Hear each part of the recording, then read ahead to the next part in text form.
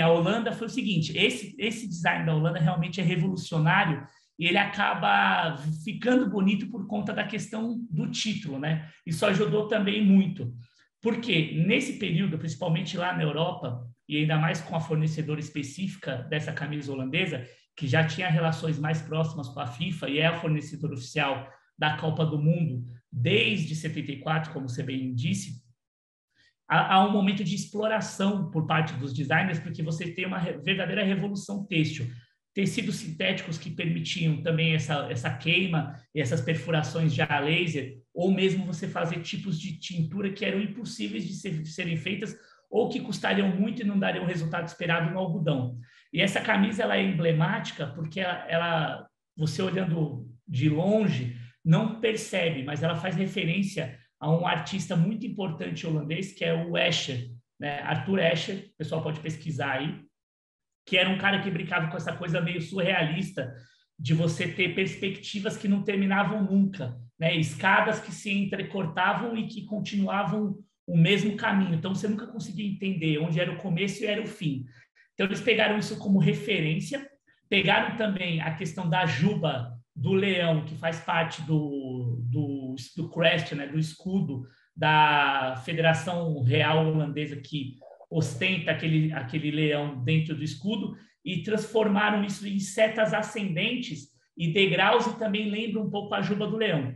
Foi um, uma coisa muito revolucionária para a época, muito à frente do tempo, causou estranheza nos atletas, o Gullit, o Raika e alguns atletas meio que não, não curtiram muito a ideia de trajar essa coisa da camisa. Hoje em dia é muito natural, mas os próprios atletas, né, e, e não só os atletas, mas como os críticos, jornalistas, enfim, torcedores em geral, quando se, se deparavam diante de algo assim tão disruptivo, a coisa era muito mais é, polêmica do que é hoje. Não era se debatia muito e, e as pessoas rechaçavam.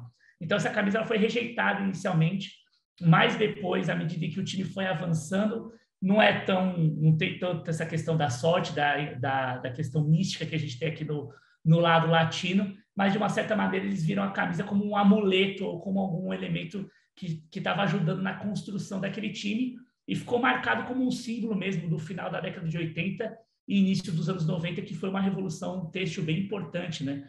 E, e ali é a mãe de todas as camisas loucas que a gente tem visto hoje em dia. Agora, depois da Holanda, aí você também separou aqui a camisa da Alemanha da Copa de 90, né? Quer dizer, dois anos depois, a Alemanha sai também de um formato mais tradicional, uniforme sempre branco e preto, né? camisa branca, calção preto, é, sem muitas é, variações, e inseriu as cores da bandeira no uniforme, né? Naqueles riscos no peito, né? É, que sempre a Alemanha com uniforme branco, segundo uniforme verde, exceção aí de uma Copa ou outra, como o próprio 7 a 1 né? Que tinha aquela camisa rubro-negra que depois foi aposentada, voltou a usar o verde como segunda camisa, é, o time alemão. É, o que representa essa mudança também da Alemanha entrar no, no, se arriscar um pouco, digamos assim, com aquela camisa da Copa de 90. Pois é, e ainda mais os alemães são bem mais rígidos né, e bem mais herméticos, nessa, principalmente no design deles.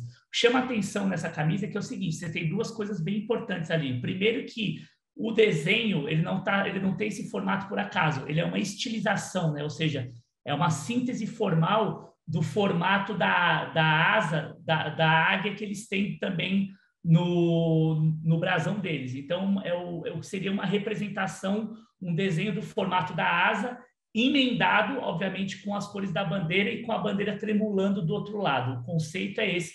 E você vê que ela está bem posicionada entre os ombros e o peito, que é exatamente para brincar com essa coisa da asa mesmo. Ela não está jogada por acaso.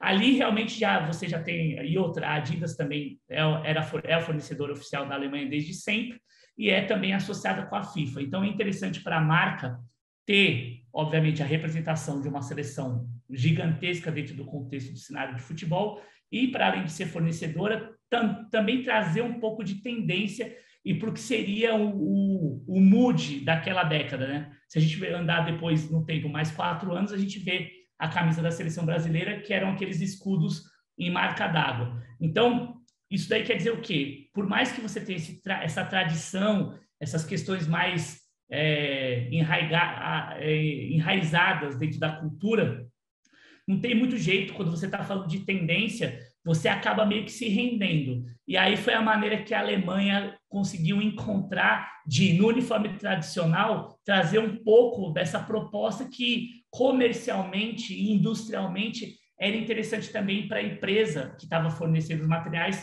ter. Tem muito dessa troca, né? Às vezes é um jogo que, por mais que você seja a seleção, você está sub, submetido a, a questões comerciais e aí você às vezes tem que ceder um pouco aqui ou acolá. Então fica esse jogo de tensionamento. Teve também muita polêmica nessa época, principalmente por ser a, a, a seleção, né, de, de Mannschaft, eu não sei falar em alemão como eles como está escrito, mas enfim, é, é, é, a inscrição que aparece dentro do, do escudo, e eles também são meio é, reticentes com esse tipo, eram, né, mais reticentes com esse tipo de mudança, mas foi bem sucedido, e essa camisa para mim é belíssima, porque ela consegue por mais que esteja propondo uma ruptura com algo mais tradicional, ela tem uma poesia ali, tem um cuidado, né, e uma engenharia muito bem feita para você poder encaixar esses elementos e dar a suavidade necessária sem descaracterizar, sem ficar um uniforme muito carnavalesco.